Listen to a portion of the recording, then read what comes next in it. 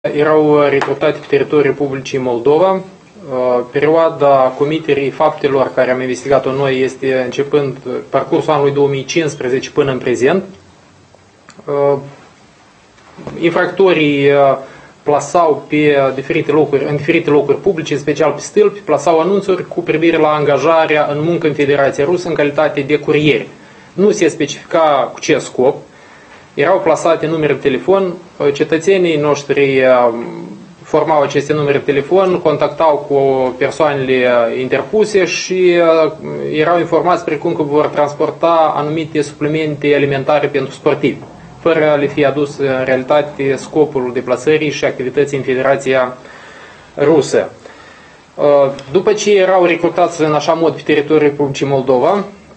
aceste victime la aceste victime le era organizat transportarea în Federația Rusă, de fapt ei se deplasau de sine stătător, dar în Federația Rusă erau întâmpinați de alți complici care îi obligau să-și facă poze pe fonul gării uh, feroviare și să expedieze ca confirmare că au ajuns în țara destinație